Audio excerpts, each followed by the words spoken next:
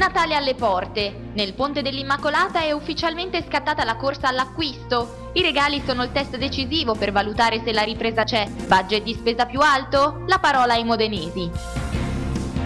Una procedura semplice, rapida e meno invasiva. Presentato al Policlinico il catetere giugulare ecoguidato, un dispositivo per il trattamento di pazienti con difficile accesso venoso. I vigili del fuoco depositano la corona di fiori alla statua della Madonna per celebrare la festa dell'Immacolata e nella stessa giornata la diocesi di Modena saluta l'ex vicario Monsignor Giacomo Morandi in partenza per il Vaticano. Buonasera e benvenuti ad una nuova edizione di TG Qui.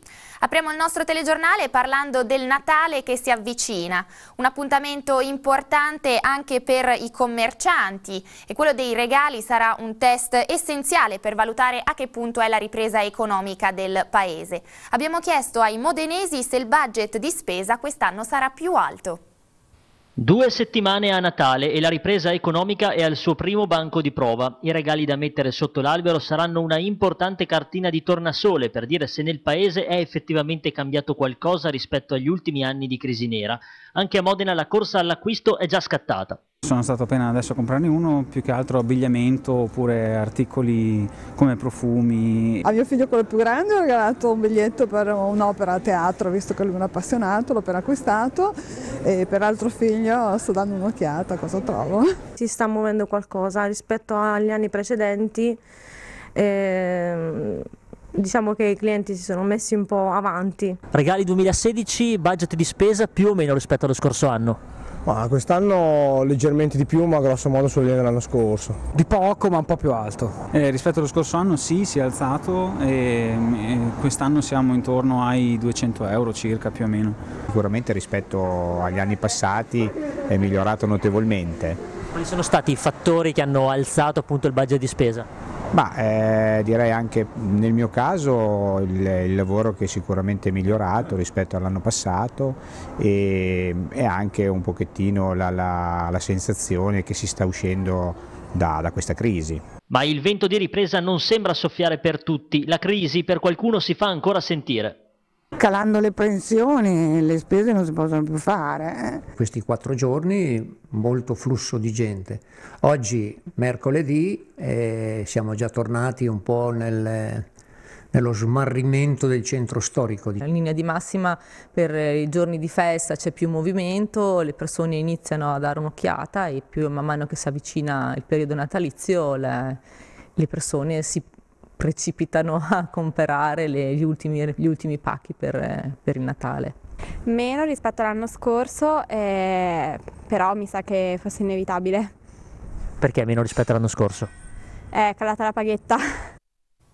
Questa mattina il questore di Modena Giuseppe Garramone ha donato al presidente dell'Associazione Culturale Terre Nove eh, Ferruccio Giuliani un presepe interamente realizzato da un agente in servizio presso il Commissariato di Pubblica Sicurezza di Sassuolo, in segno di riconoscenza per quanto svolto quotidianamente dai volontari nei confronti delle persone in difficoltà. La scelta di tale dono è dovuta al fatto che il maestro Giuliani è uno dei maggiori collezionisti al mondo di presepi. E a proposito di presepi, Forza Italia Giovani sostiene e promuove la campagna nazionale chiamata Un presepe in ogni scuola. La Mazzacurati chiede inoltre a Muzzarelli di supportare quelli modenesi. Non è piaciuta al centro-destra la decisione di diversi istituti scolastici di negare ai bambini il festeggiamento del Natale, magari togliendo il presepe. Ci sono scuole che da tempo hanno rinunciato agli allestimenti negli ingressi degli edifici, lasciando libere maestre ed educatrici di gestire il chiuso della propria aula le celebrazioni della Natività.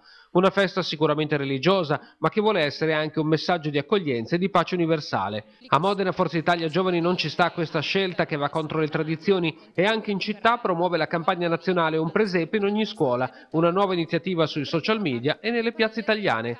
I giovani azzurri sottolineano di non essere disposti a lasciare spazio a chi in nome del laicismo cerca di rinnegare in ogni modo la cultura italiana. Per Valentina Mazzacurati, responsabile provinciale Forza Italia Giovani, il sindaco Muzzarelli dovrebbe impegnarsi fin da ora a supportare, attraverso il comune, il presepe di via Montecuccoli e gli altri, negli ultimi anni sdobbati dalle scuole, in modo che le classi modenesi non abbiano quei falsi problemi e difficoltà burocratiche di organizzare delle visite. La natività è un simbolo riportato in tutte le religioni, ricorda in una nota la Mazzacurati accurati, un riconoscimento di pace e speranza universale che non può che essere colto in modo positivo da tutti e che certamente non rischia di urtare la sensibilità di nessuno. Forza Italia Giovani si sofferma anche sul grande valore artistico che hanno i presepi, oltre al loro significato religioso, un aspetto che va valorizzato anche al fine di garantire la continuità di una tradizione tra le più sentite degli italiani. Passiamo ad un tema sempre caldo, quello delle tasse. Nel 2015 i modenesi hanno dovuto sopportare un aumento della pressione fiscale da 9 milioni di euro. Fortunatamente per il prossimo anno dal Comune non si prevedono nuovi aggravi. Se il 2015 è stato l'anno della stangata, il 2016 non dovrebbe riservare nuove brutte sorprese per i modenesi. Per l'anno venturo l'amministrazione comunale non ha in previsione di aumentare ancora le tasse. Nessun intervento fiscale è previsto nel DUP, il documento unico di programmazione per il triennio 2016-2018 che verrà illustrato domani in Consiglio Comunale dall'assessora al bilancio Ludovica Carla Ferrari. Il documento detta le linee guida di ciò che sarà nel bilancio di previsione 2016 ossia di quello che può essere definito come la legge finanziaria del comune. Lo scorso anno, fin dal DUP, era emersa chiara l'intenzione di Piazza Grande di sopperire ai tagli sui finanziamenti dallo Stato alzando le imposte locali. Da Roma arriveranno meno soldi, non abbiamo scelta, o riduciamo i servizi o aumentiamo la pressione fiscale, si difese allora il sindaco Muzzarelli. Alla fine, tra mille polemiche, il bilancio di previsione 2015 passò con un macigno da 9 milioni di euro di tasse in più. Per il prossimo anno un problema ulteriore ulteriore per le casse del comune potrebbe essere rappresentato dall'abolizione delle imposte sulla prima casa, che creerà un buco alla voce gettito fiscale, ma la soluzione c'è già. Il governo, fanno sapere dal municipio, si è impegnato a sopperire con risorse proprie al taglio di IMU e Tasi, dunque nessun nuovo balzello compensativo sulle spalle dei modenesi. Eccezione fatta per il prelievo sugli immobili cancellato da Renzi, in conclusione nel 2016 a Modena le tasse resteranno sui livelli di quest'anno, sempre che nel corso dei mesi le esigenze di bilancio non cambino. Ci occupiamo ora di innovazioni in campo medico-sanitario. Questa mattina al Policlinico è stato presentato un nuovo dispositivo per il trattamento di pazienti con accesso venoso difficoltoso. Sentiamo. L'utilizzo è partito da Modena, ma potrebbe espandersi in tutto il mondo. Stiamo parlando di un innovativo dispositivo inventato dal dottor Lucio Brugioni, il cateterismo della vena giugolare interna ecoguidato. Questo è il nome del dispositivo sviluppato al Policlinico e utilizzato per la somministrazione di terapie mediche ai pazienti con difficoltà di accesso venoso. Al dottor Brugioni abbiamo chiesto cosa cambia rispetto al passato. La diffusione della tecnica ecoguidata ci ha permesso di capire che la giugulare interna, che è una vena del collo, era dire, ben visibile e vicina alla, alla cute, per cui eh, abbiamo pensato se non si potesse sviluppare una tecnica che assomiglia a quella del cateterismo venoso periferico, cioè usare un catetere per prendere solo la giugulare interna in maniera ecoguidata al, al letto del paziente, molto più sicura per il paziente, molto più semplice e molto più rapida. Voi considerate che abbiamo una media nei 140 casi che abbiamo portato avanti in questo periodo di 3 minuti di tempo da quando iniziamo la procedura a quando la terminiamo. L'idea è nata nel 2005, dopo varie prove nel giugno scorso si è cominciato a utilizzare al Policlinico questa procedura più semplice e veloce rispetto alla precedente, che non vuole diventare un metodo sostitutivo ma proporsi come alternativa.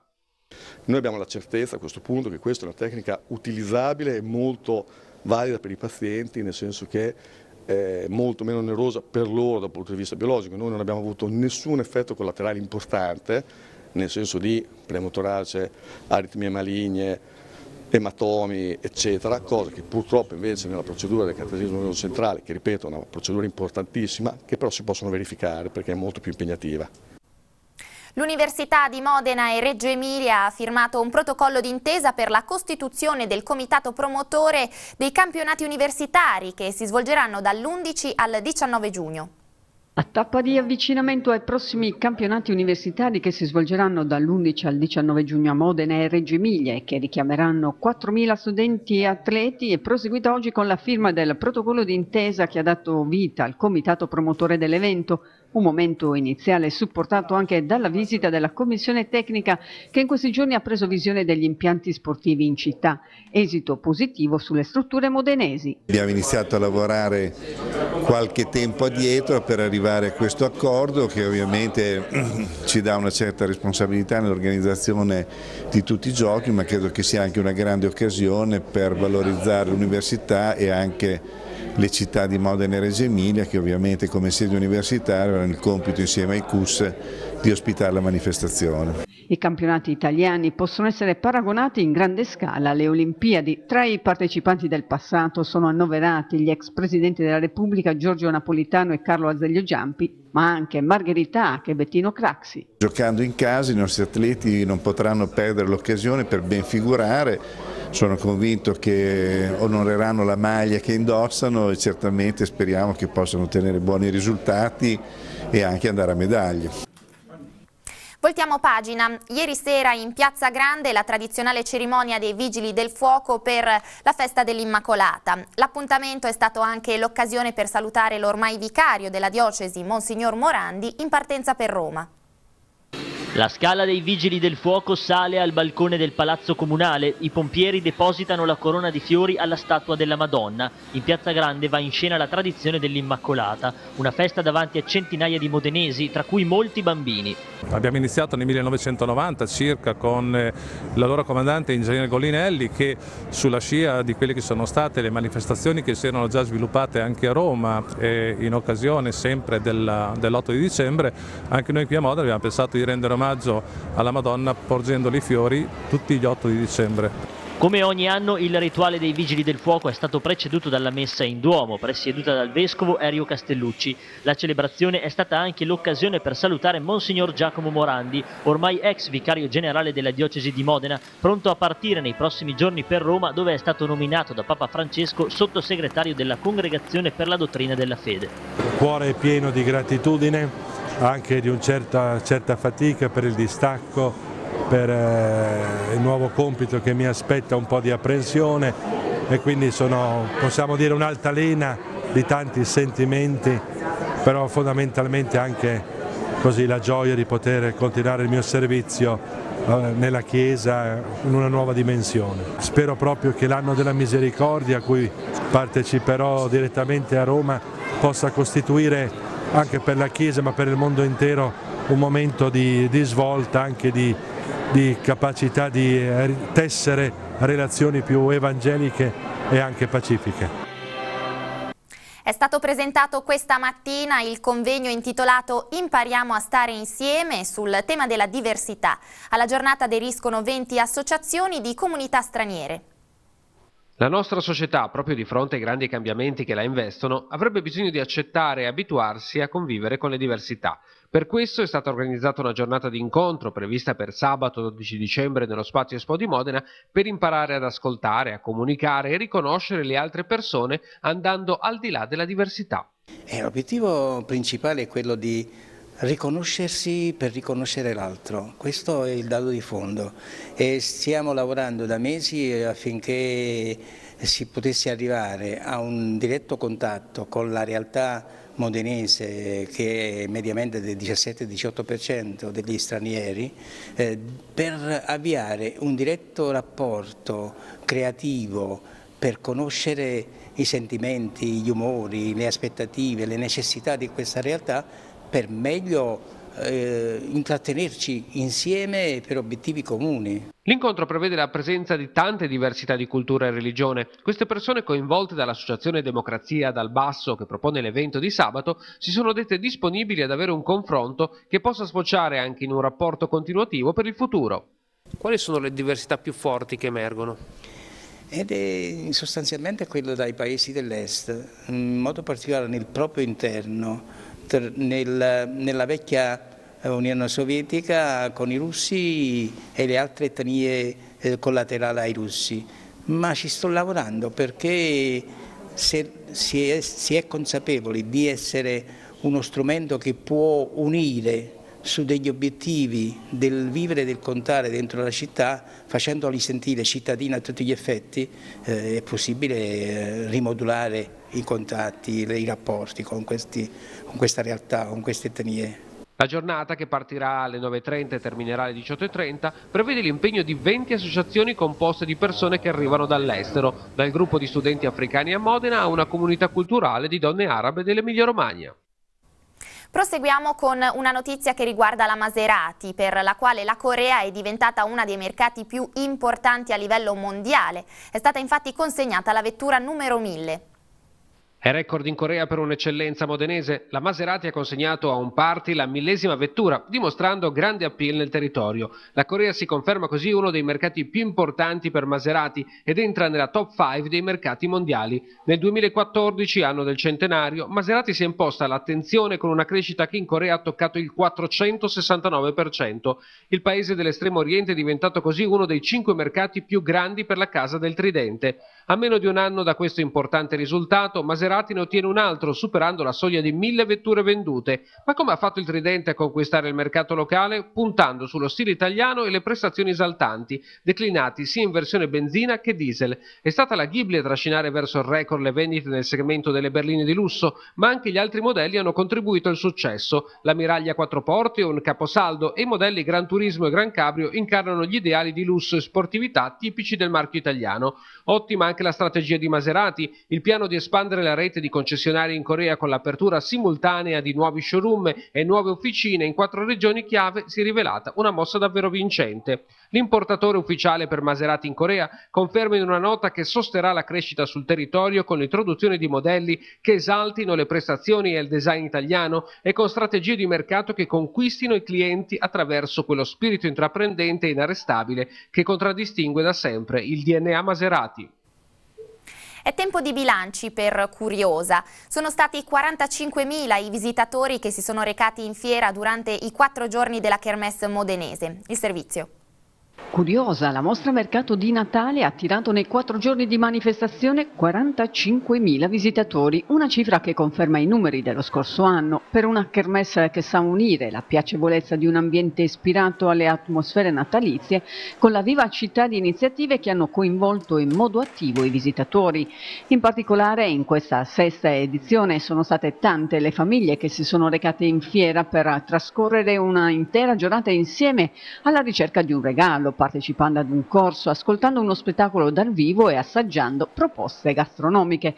Curiosa quindi si è confermata una manifestazione apprezzata sia dai visitatori che dagli espositori. Tra questi ultimi sono stati in tanti quelli che hanno espresso soddisfazione per l'afflusso di persone e per l'andamento delle vendite. La scelta di rendere Curiosa un'esperienza da vivere a tutto tondo, inserendo sempre elementi di novità che hanno arricchito le tre sezioni tradizionali dedicate a gastronomia, creatività e regali, è stata premiata e questo è il primo commento a caldo dell'amministratore delegato di Modena Fiere Paolo Fantuzzi, soddisfatto per come i visitatori hanno accolto l'appuntamento che apre il mese di dicembre presso il quartiere fieristico modenese.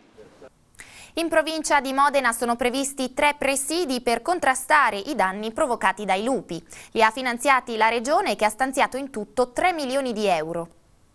La provincia di Modena non è esente dai danni provocati dagli animali selvatici, in particolare dai lupi. Anche per questo la Regione, con quasi 6.500 euro, ha previsto la realizzazione di tre presidi a Sassuolo, Pavullo e Montefiorino per contrastarne l'azione. L'idea è quella di prevenire con la costruzione di recinzioni e altre forme di difesa più che risarcire le aziende che hanno subito danni provocati dalla fauna selvatica.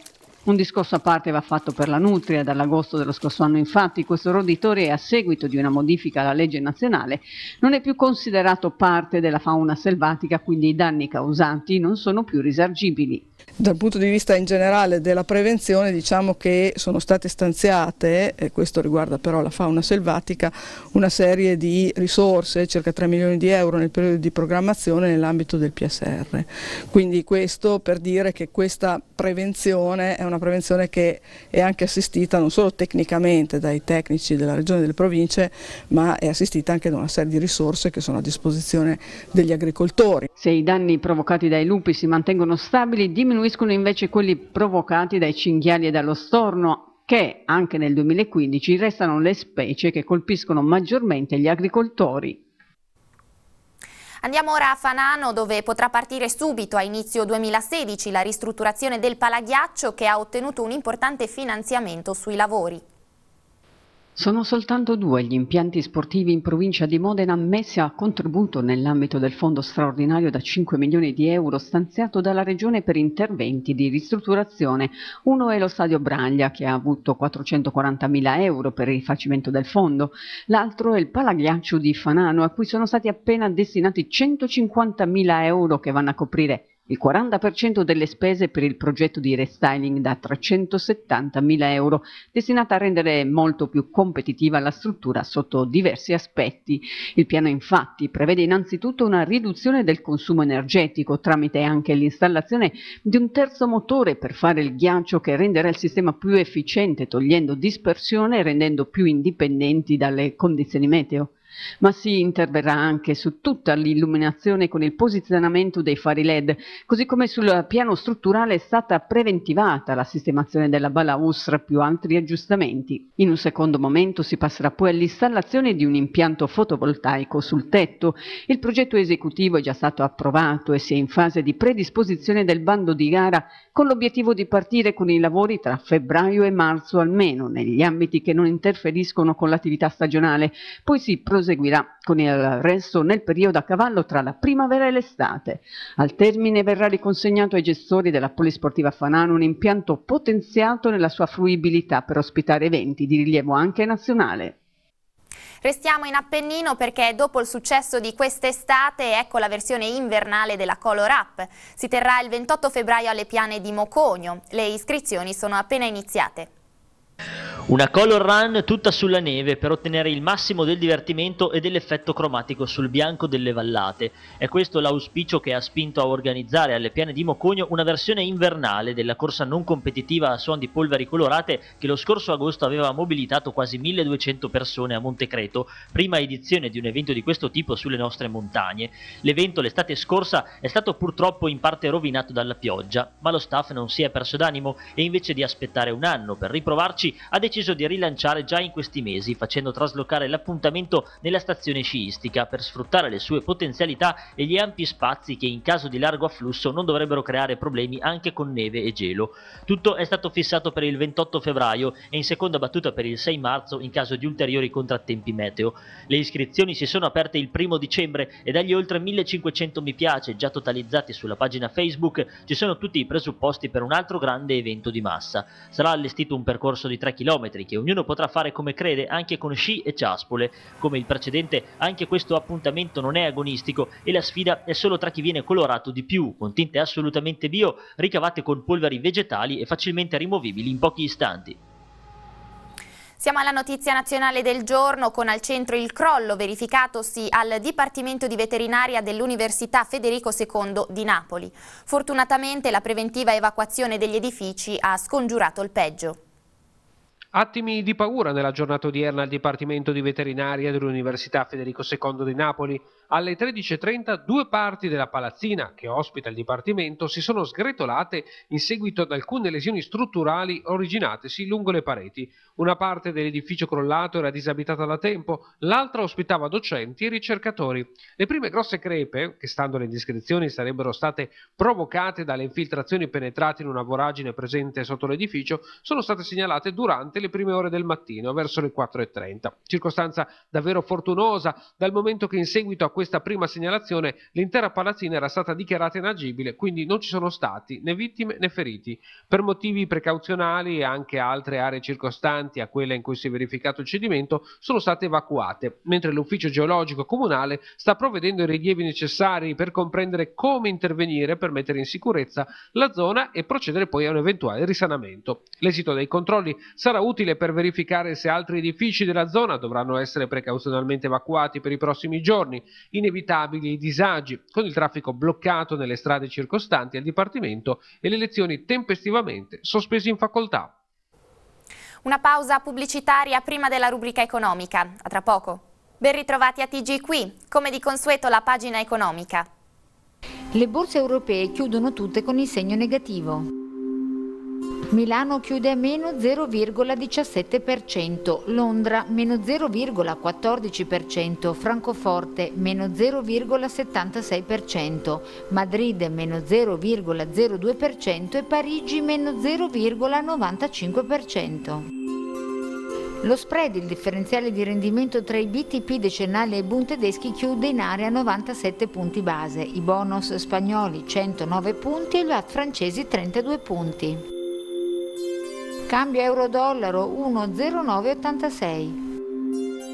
I migliori titoli di giornata Maglia Rosa Saipem più 1,76%, Tenaris più 1,29%, Enel più 0,95%, Toz più 0,87% e Enel Green Power più 0,84%. I peggiori titoli di giornata, Maglia Nera Mediaset meno 3,04%, Banca Popolare di Milano meno 2,38%, Campari meno 1,92%, Telecom Italia meno 1,72% e CNH Industrial meno 1,66%. Passiamo ora alle società modenesi quotate in borsa. Banca Popolare dell'Emilia Romagna, meno 1,08%, chiude a 6,870 euro per azione. Ceramiche Richetti, meno 1,99%, chiude a 0,251 euro per azione. Mare, meno 1,18%, chiude a 19,330 euro per azione. Panaria, meno 6,27%, chiude a 3,292 euro per azione. Ed infine primi sui motori, più 4,19%. 19% chiude a 4,022 euro per azione. E per questa edizione è tutto, il nostro telegiornale termina qui e torna domani. Grazie per averci seguito, arrivederci.